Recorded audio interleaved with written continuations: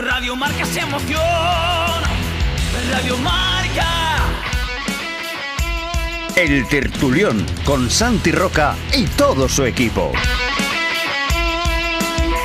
El deporte es nuestro. Radio Marca. Hola, ¿qué tal? ¿Cómo estáis? Bienvenidos y bienvenidas a este tertulión en esta jornada de jueves, día de luto, uno de los tres días de luto decretados por el gobierno por los estragos que sigue causando la Dana en la comunidad valenciana y en el resto de la geografía española, principalmente en la comunidad valenciana. Hoy las cifras de fallecidos por eh, esta catástrofe climatológica mm, sigue dejándonos sin palabras, eh, cercana al centenar y, creciendo y además con muchísimos testimonios que podéis escuchar a través de Radio Marca, a través de las televisiones nacionales, a través de las eh, emisoras de radio que eh, una vez más los medios convencionales se convierten en la fuente más fiable para estar informados de todo lo que está ocurriendo. Nosotros vamos a intentar en este programa de hoy hablaros de la consecuencia en lo deportivo, pero también y sobre todo estar con, y ayudar y dar voz a las personas que ayudan, a los, eh, todos los movimientos de solidaridad que se están produciendo en las últimas horas. Sois muchos los que nos seguís desde otras comarcas. Afortunadamente en la SAFOR la situación está ahora mismo bajo control y eso va a permitir que desde aquí se canalice mucha de la ayuda a esa zona cero. Os vamos a hablar de Alma de Acero y su iniciativa de recoger alimentos y enseres para los eh, perjudicados. Os vamos a hablar Vamos a hacerlo desde la sede de Alma de Acero. Vamos a hablar también con el presidente de la Federación Valenciana de Fútbol, con Salvador Gomar. La federación ayer anunció que no iba a haber fútbol como no podía ser de otra manera en la comunidad valenciana este fin de semana. También se unieron federaciones como la de voleibol para anular todos los partidos. Y hoy hemos conocido además una muy bonita iniciativa de la Policía Local de Gandía eh, que va a estar in situ en la zona cero con un grupo de eh, agentes voluntarios fuera de su horario laboral que van a estar ayudando en las tareas de forma coordinada que eh, bueno pues todo el operativo que hay puesto en marcha le requieran. Tenemos comunicación con José Martínez, que es el jefe de la Policía Local de Gandía. El señor Martínez, hola, ¿qué tal? Hola, buenas tardes. Bienvenido y gracias por atendernos. Lo primero que le quiero eh, preguntar es qué han movilizado, qué se está poniendo en marcha desde la Policía Local de Gandía para ayudar a las víctimas de esta terrible tragedia?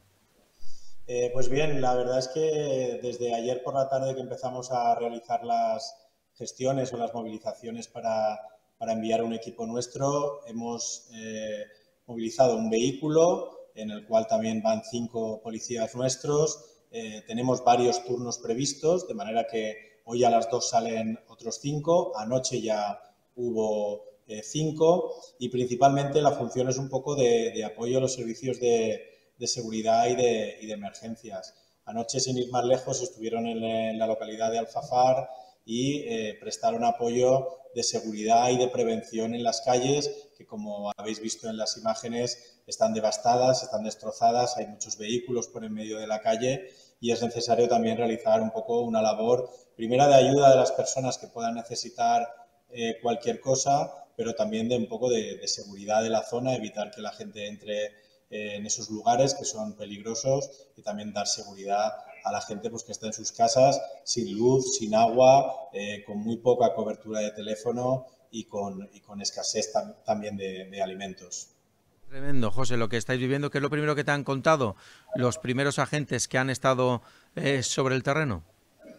Pues a ver, son, son imágenes fantasmagóricas, desastrosas, eh, se escucha un silencio que, la verdad es que es un silencio que solo se rompe por, por, algún sonido del propio barro, de los propios agentes o alguna alarma que suena y, es un silencio de esos que, que, te transmite mucho, ¿no? Y, la verdad es que eso y la oscuridad total que hay allí con todos los coches amontonados, cañas, barro, todo el jaleo, la verdad es que es, es triste, Muy, ¿Cómo, ¿Cómo se han movilizado? ¿Cómo lo habéis hecho? No sé, me quiero imaginar eh, cómo os comunicáis internamente. Oye, ¿quién quiere acudir? ¿Quién quiere hacer? Y no sé cuánta gente, cuántos agentes de la Policía de Gandía te han dicho, pues cuenta conmigo.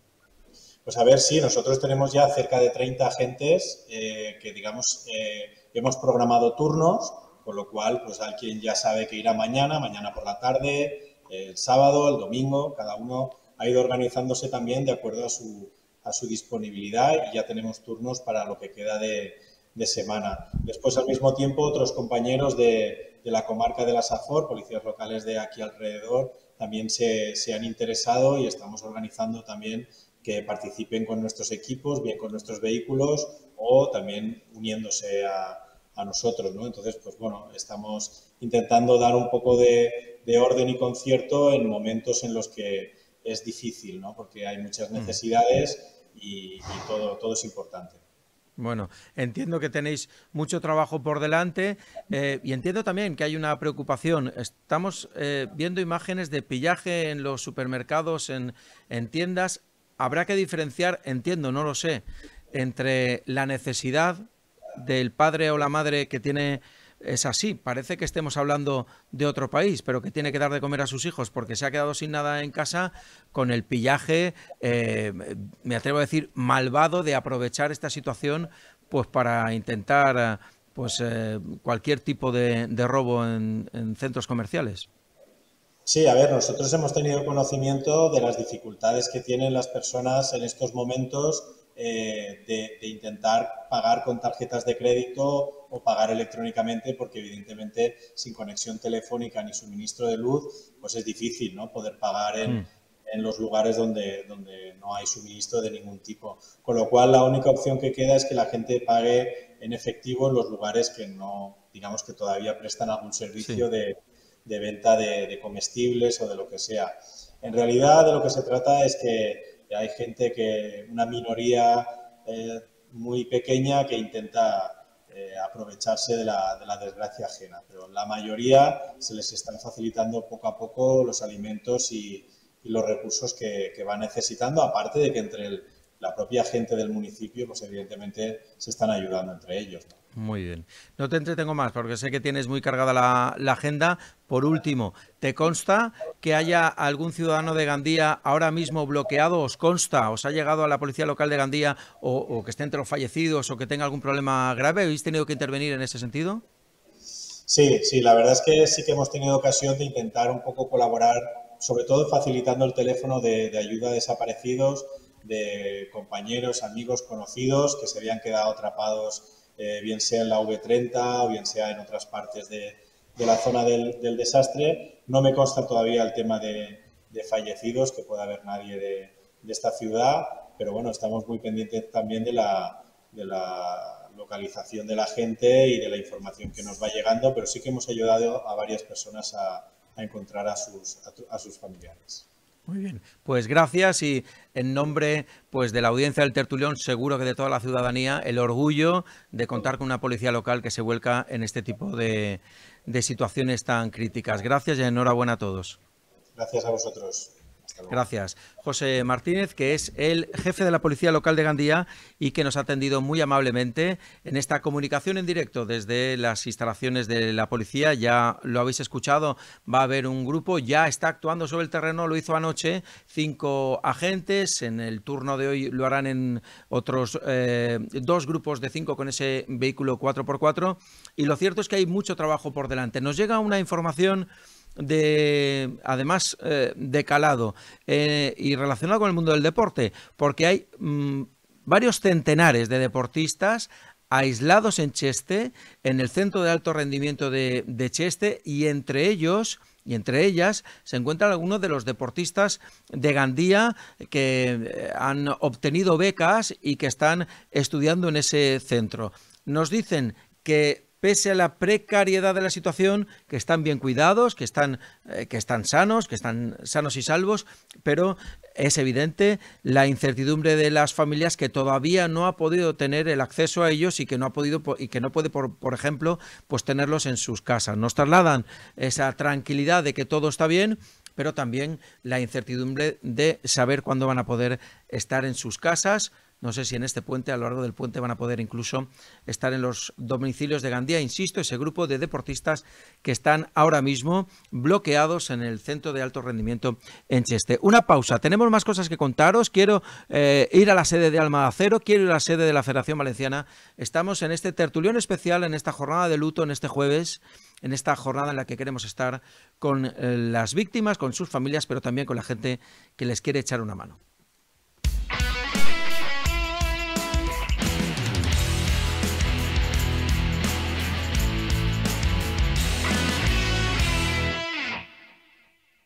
El trabajo que buscas. Consigue tu carnet de conducir C, E o D. Autoescuelas Fernando Guillem. Por método audiovisual de enseñanza. Por calidad de vehículos de prácticas. Por la garantía de sus profesores. Si buscas un trabajo, ven a por tu carnet de camión, tráiler, autobús y vehículos especiales. Confía en Autoescuelas Fernando Guillem y consigue el trabajo que buscas. Autoescuelas Fernando Guillem, sede central en la misma plaza elíptica. Prueba, seguro que apruebas.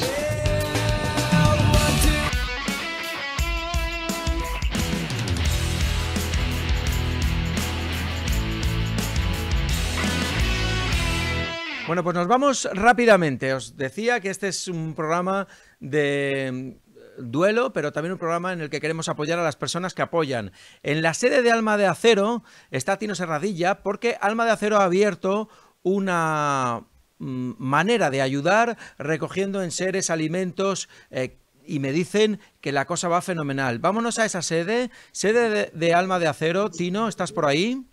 Hola, ¿qué tal? Hola, buenos días. Aquí estamos. Buenas tardes, perdón. Aquí estamos. Buenas tardes. Te veo ya manos a la obra. Cuéntanos, ¿qué estáis haciendo desde Alma de Acero? Pues mira, ahora te lo enseño. Hemos abierto a las 10 de la mañana y pues mira, aquí tienes a, a los compañeros, a Chiqui, a Roski, a Oscar, incluso la hija de Oscar. Mira cómo está todo. Madre mía. Ropa de adulto, ropa de bebé, productos de higiene, agua, mucha agua nos han traído. Ahí al fondo la puedes ver. Bueno, Eh, veo, comida para animales.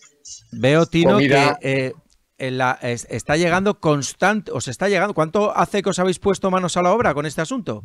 Pues desde las 10 de la mañana llevamos aquí, desde las 10 de la mañana. Yo, sinceramente, yo me esperaba que hubiera respuesta, pero tanta, y aún nos queda la tarde. Aún Es una después. Muy bien. Eh, Dinos un poco, ¿qué puede hacer la gente para ayudaros? ¿Cómo lo vais a canalizar toda esta ayuda? Primero, ¿qué puede hacer la gente de la comarca, de Gandía y de la comarca, que quiera aportar alimentos? ¿Qué tipo de alimentos y qué tipo de enseres os pueden llevar y cómo hacerlo? A ver, pues tal y como está todo, pues pueden aportar lo que quieran, porque Valencia, por desgracia, ha acabado bastante mal. Entonces, comida, ropa de abrigo, productos de higiene, me reitero, comida para los animalitos también, eh, de todo, de todo. La comida Y pueden entiendo venir, que... el punto de recogida es, el local nuestro es en la calle La Goleta número 7, aquí en, el, en Gandía, en el grado de Gandía, perdón. En el Grau, correcto. Sí. Y pueden Está colaborar del con, centro con. Marcelí Pérez, nada más llegar al Grau a mano derecha. Y luego, eh, ¿tenéis otros puntos de recogida, otros puntos de acceso? ¿Estáis colaborando con otras asociaciones? Un momento, disculpa. Bueno, estamos aquí en Eh, directo perdón, con, es con el Tino, sí, directo. dinos. Eh, ¿Tenéis había el otros punto de puntos? recogida de la policía local, pero allí ya están derivando porque también se les ha llenado. Nosotros saber dónde metemos esto, por lo que te digo. Esta tarde tenemos más. Vamos a venir también a, a quedarnos para recoger cosas Muy bien. y bueno, a ver cómo lo hacemos. Se nos Os ha quedado pequeño en nombre de toda la sociedad, de toda la gente. Siempre estáis ahí al pie del cañón. Sois un ejemplo y desde luego que eh, bueno pues eh, se está notando en estas en estos momentos tan duros pues la solidaridad de la gente entre ellas de las ONGs como Alma de Acero. Tino, un placer, gracias. Muchísimas gracias a vosotros por atendernos y por de esto y, y bueno, y aquí estamos para recoger y para ayudar en la medida de lo que podamos. Muy bien, Vale. muchas gracias. Muy amable. Tino Serradilla, desde la sede de Alma de Acero, con esa recogida de alimentos. Podéis hacerlo eh, llevándolos allí personalmente. Caritas también está eh, colaborando, como también otras entidades. Me dicen la Falla Beniopa, por ejemplo, la Asociación de Vecinos de la Plaza Elíptica. Eh, mm, muchísima gente y todo el entramado social para ayudar en, desde donde se hace este programa desde Gandía, desde la SAFOR. Por desgracia conocemos lo que es una riada, lo que es una, una pantanada y en este, caso una riada, una avenida importante como la que sufrió eh, Beniopa hace algunos años y que se une a esa larga lista de catástrofes que hemos vivido en la comunidad valenciana, que como digo, tiene decretados tres días de luto y que esto hace además que haya eh, parado la actividad o que vaya a parar la actividad deportiva. Estamos pendientes de una comunicación con la Federación Valenciana de Fútbol, con su presidente Salvador Gomar, porque ayer la Federación Valenciana,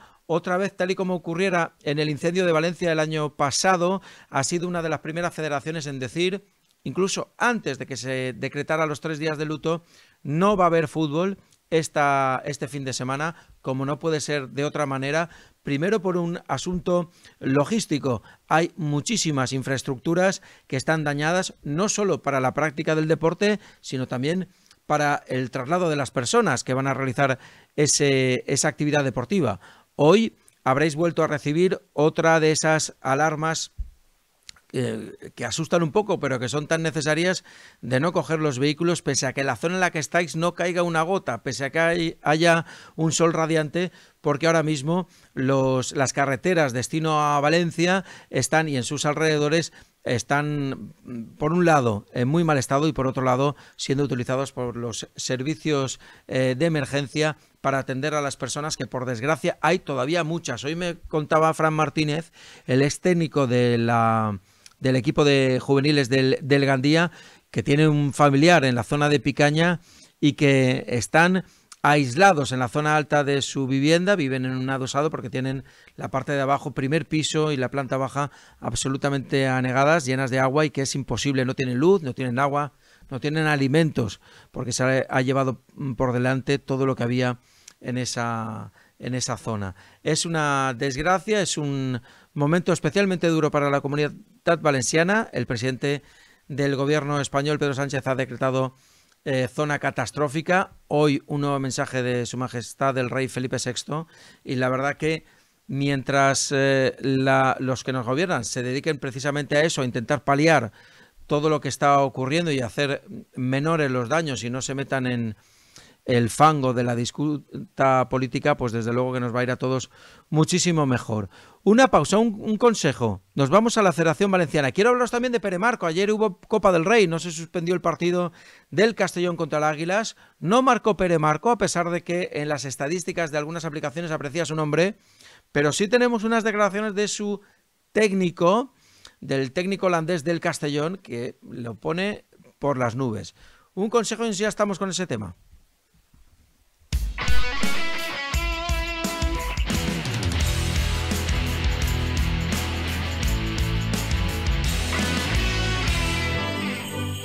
Recibir un detalle en Navidad puede suponer poco para ti, pero mucho para quien lo recibe. Con Naviment recibe amistad, agradecimiento y un placer para tu paladar. Naviment. Lotes, surtidos, cestas, baúles, jamones. Pequeños momentos con regalos originales. Naviment. Regalos que marcan la diferencia.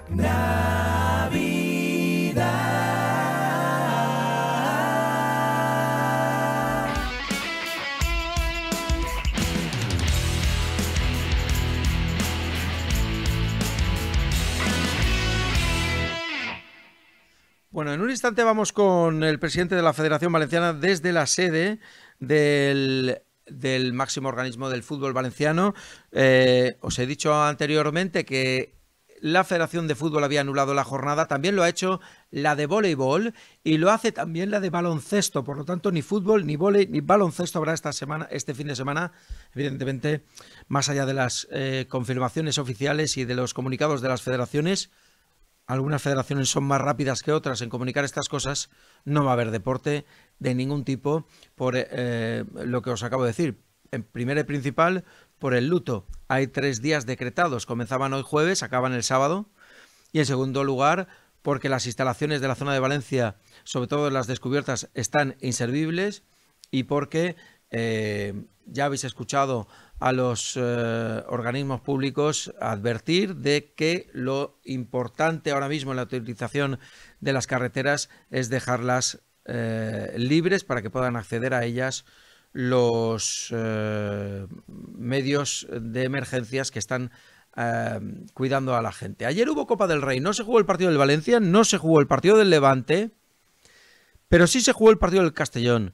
Ahí está nuestro ojito derecho, ahí está Pere Marco. Jugó de titular ayer Pere Marco, no marcó, aunque algunas aplicaciones le otorgaban eh, la autoría del gol que permite al conjunto Oreyut, al Castellón, meterse en la siguiente ronda de la Copa del Rey, se imponían 0-1 al Águilas, pero esto dijo, atentos, el técnico del Castellón sobre Pere Marco, casi sin que le preguntaran, al acabar el partido en la rueda de prensa tras la victoria del Castellón en Águilas.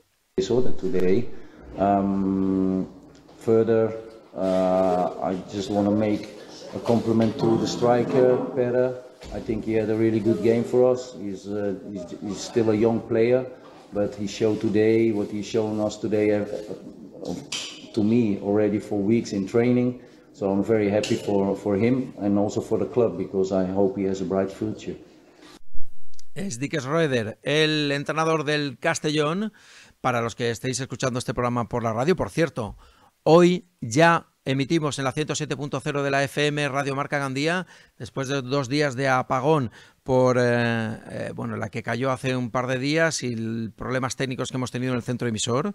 Para los que habéis escuchado a Schroeder y no le hayáis entendido, ha venido a decir algo así como que está súper contento con Pere Marco, que es un jugador muy joven, que lo demuestra en los entrenamientos, de hecho está yendo convocado prácticamente a todos los partidos del primer equipo, y que se alegra por Pere y se alegra por el club, porque dice el técnico del Castellón que hay futbolista de futuro y para rato. Y a nosotros nos alegra un montón volver a ver a un delantero de Gandía no triunfando, porque todavía no está triunfando, pero asomando ahí la cabecita en el primer equipo del Castellón, como lo hizo Marcos Struch hace ya algunos años, eh, sentando cátedra con su juego aéreo y con sus goles en Castalia. Un alto en el camino y seguimos con más cosas.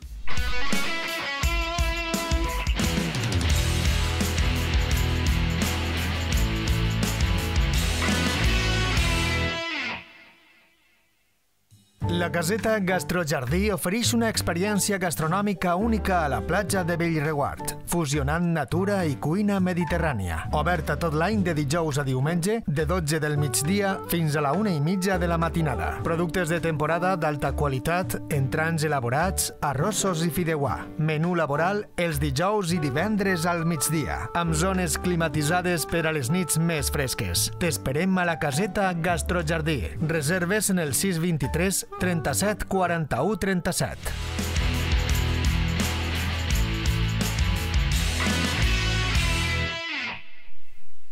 Bueno, pues seguimos en este tertulión de, luto, en este día triste, este primer día de luto de los tres decretados por eh, la tragedia que se está viviendo en Valencia, después de haber eh, visitado eh, la sede de Alma de Acero y esa recogida de alimentos, después de haber escuchado al jefe de la policía local de Gandía y esa intención ya efectiva de acudir a la zona cero para ayudar con varios de los efectivos de la policía local, toca el turno de escuchar al máximo mandatario del fútbol valenciano porque ha sido otra vez la Federación Valenciana la primera en suspender toda actividad de cara al fin de semana. Creo que tenemos comunicación con el presidente de la Valenciana, Salva Gomar, no tenemos todavía, pero como se estaba diciendo, son varias las federaciones que han anulado toda actividad de cara al fin de semana. Primero fue la Federación Valenciana de Fútbol, lo hizo tras la suspensión del partido del Valencia eh, de Copa del Rey ante el Parla Escuela. También se ha suspendido el partido de Liga entre el Valencia y el Real Madrid previsto para este fin de semana. Por cierto, que tras eh, utilizar la alquería del básquet como centro de recepción de algunos de los damnificados que no pudieron hacer noche en sus domicilios. Ahora es Mestalla la que está recogiendo, el estadio de Mestalla está recogiendo toda la ayuda humanitaria que está llegando a eh, protección civil, tanto de alimentos como de eh, ropa y en seres personales para ayudar a todas las víctimas de esta eh, tragedia. Pero como os decía, se suspendían los partidos de Copa del Rey del Valencia y del Levante, se ha suspendido el partido de liga del eh, Real Madrid en Mestalla ante el Valencia y la Federación Valenciana ayer decretaba eh, la suspensión total de todas las competiciones que organiza la Valenciana y todo el fútbol en las tres provincias, en toda la comunidad valenciana. Hoy la atención y la alerta y la alarma está en Castellón, pero la valenciana no solo por seguridad, también por respeto a las víctimas, decretó esta suspensión de la jornada, como luego lo han hecho anoche, lo hizo la Federación de Voleibol, creo que esta mañana lo ha hecho la de baloncesto. Ahora sí, tenemos comunicación con el presidente de la Valenciana, Salvador Gomar. Hola, ¿qué tal? Buenas tardes. ¿Qué tal? Buenas tardes.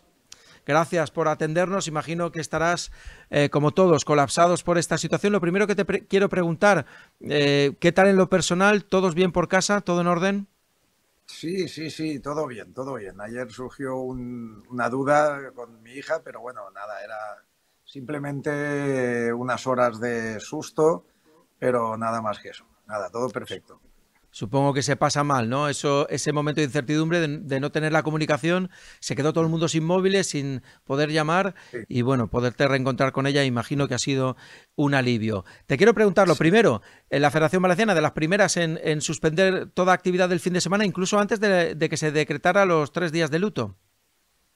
Sí, bueno, no, fue después del luto, pero bueno, lo teníamos valorado ya desde, pues desde la misma mañana, lo teníamos todo preparado todo lo que son los aplazamientos eh, y ya las, comunicaciones y todo, pero por respeto yo creo que teníamos que, esperar un poco a, pues a la Dirección General de Deportes con la que mantenemos un contacto directo y continuo y bueno, pues ante la situación del luto, pues ya esto ya nos hizo ver que, que lo, lo, que habíamos pensado ya, ¿no? Y luego pues aún abundando aún más sin tener conocimiento de que se iba a extender a Castellón, pues bueno, pues también eso lo hicimos por, por, intuición, ¿no? Y yo creo que es lo que hacer, por, por luto, más, allá, más allá de que no se pudiera jugar, claro, en, muchos campos. Es lo, que, es lo que tocaba, me refería efectivamente a la comunicación oficial, se hizo posteriormente, pero ya de la mañana se sabía que no iba a haber eh, fútbol. ¿Habéis pensado, se va a decretar una jornada, eh, se va a utilizar una jornada concreta para recuperar estos partidos? A ver, sí, se va a utilizar. Lo que pasa es que yo no me la sé de memoria, pero desde competiciones sí que lo primero que hicimos es eh, hacemos un gabinete de crisis, ¿no? Como está acostumbrado ahora todo el mundo a decir.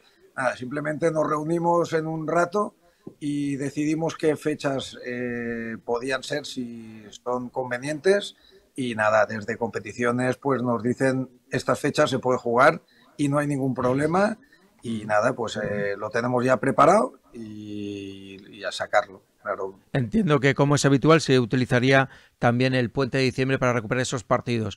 Eh, ¿Qué te llega a la federación? Supongo que ahí estáis recibiendo noticias de los clubes, eh, de la situación de las instalaciones. ¿Qué os está llegando, Salvador? Bueno, pues mira, nos llegan informaciones directas desde desde los mismos clubs, nos llegan informaciones de Twitter o de, de otra serie de, de redes que, que, podemos estar viendo también, contactamos con los que podemos, porque la verdad es que hay muchos clubes, bueno, muchas personas de los clubes que no hemos podido ni contactar, sin embargo les llamas y no, no dan tono y bueno, pues te asusta primero, luego pues ves que mm, es lo normal y bueno, pues dices, bueno, ya se restablecerá, ¿no? Pero directamente, directamente, pues bueno, pues todo lo que es Paiporta, Catarroja, Alfafar, Sedaví, Benetuser, eh, incluso Silla, eh, Discóbolo en la Torre, todo, todo eso pues lo vemos en directo, ¿no? Eh, los campos del, del Levante en Buñol están todos anegados. Sabemos que hay poblaciones que, no, que están totalmente incomunicadas y entonces, pues claro, nos vemos impotentes ¿no? en, en poder mm. echarles una mano. El deporte ahora mismo es lo de menos, lo importante son las vidas humanas, estas son también las viviendas, pero en lo que nos toca, los que nos dedicamos a la información deportiva y en este caso a la gestión deportiva, son las instalaciones, va a costar mucho eh, recuperar. Hemos visto imágenes, por ejemplo, del campo del E1 en Paiporta o del Discóbolo, con todos los coches amontonados. La barbaridad es brutal y mm, va a hacer falta mucho para recuperar esas instalaciones. Sí, la verdad es que es tremendo. Nosotros también tenemos un, campo al lado del Terrer, de, que es el del E1, que es el del sí. que juega al Paiporta Club de Fútbol también. Y bueno, eh, pues, eh, pues, materialmente se ha caído una, una de las gradas. Pues bueno, esto es material y no pasa nada porque luego se repone y tardará más o menos, pero se repondrá. El problema es las vidas que ya no se pueden reponer. Ese es el problema principal que, vemos y que nos deja consternados. Bueno, hemos visto, y con esto finalizamos, la selección española se ha volcado, hemos visto un cargamento completo de material que ha llegado desde las rozas, eh, de material de la selección, ¿no? Y esto ha demostrado una vez más que el fútbol y el deporte se vuelca en situaciones así. Imagino que estarás recibiendo muchas llamadas de otros compañeros de otras territoriales, incluso de la española, ¿no? Bueno, de, de todos, absolutamente todos los presidentes me llamaron ayer, todos, ¿Ah, absolutamente todos? Solicitando o sea, pues que cualquier cosa que, pudieran ayudar, pues tenían nuestra ayuda. Tanto el secretario general también de la, de la Federación Española también pues, eh, se ha preocupado. El material que todavía no nos ha llegado, pero, pero bueno, eh, está, está ahí está ahí, eh, que, va, que va a llegar ahora. Muy bien, y que mucha falta va a hacer. Te queremos agradecer que hayas estado con nosotros. Eh, últimamente hablamos para desgracias. Este verano con la desgracia del Gandía, aunque ojalá todo fuera eso, fíjate cómo han pasado los días y aquello queda en, una, en una menudencia comparado con esto. ¿eh? Además, el Gandía era meramente material y deportivo. esto no. Esto, es otra cosa. Pues, esto yo creo que lo recordarán y lo recordaremos toda la vida, ¿no? Como hace 40 años hubo, yo lo viví en, lo, viví en Carcaixent ayudando a, pues, pues, pues, a todo el mundo que podía que podíamos colaborar para, para que se reponga. Salvador, presidente, gracias por eh, atendernos de nuevo y mucho ánimo a la gente de esa zona. Muy bien, muchas gracias a vosotros por estar siempre ahí. Gracias. Salvador Gomar en directo desde la sede de la Federación Valenciana. Con él vamos a acabar en este programa especial. Otro programa triste, otro programa en el que no hay bromas, en el que el plató está vacío, no hay lugar al debate, no hay lugar al chascarrillo de Cardona, a la crítica de Sigalat o a las cosas de Fernando Peiro y su espacio Lucky Luke en este previo al fin de semana. Son días muy tristes, son días de estar con las víctimas, son días también de informar y de intentar ayudar en la medida posible a aquellos que están ayudando. Habéis escuchado al jefe de la policía local de Gandía, van a estar en el terreno, ya lo están, de hecho. Habéis escuchado al Alma de Acero en su sede en el Grau, recogiendo en un goteo eh, constante de eh, ciudadanos llevando alimentos y en seres personales. Y habéis escuchado también a Salvador Gomar, que está en el pleno meollo de la cuestión con muchos clubs que no saben si van a poder seguir adelante en lo que resta de temporada por cómo han quedado sus instalaciones. Nosotros lo dejamos aquí. Ya sabéis que no hay deporte este fin de semana. Sí que va a haber información a través de nuestras redes sociales. Todo lo que ocurra os lo vamos a contar y volveremos el lunes. Espero que estéis todos ahí. Tened cuidado en la carretera. Es más, no la utilicéis si no es estrictamente necesario y menos en las zonas que ya ha indicado Protección Civil porque están destinadas a las eh, unidades de emergencia para atender a las víctimas y a los más necesitados. Volvemos el lunes, gracias, adiós. Radio Marca se emoción. Radio Marca. El Tertulión con Santi Roca y todo su equipo. El deporte es nuestro. Radio Marca.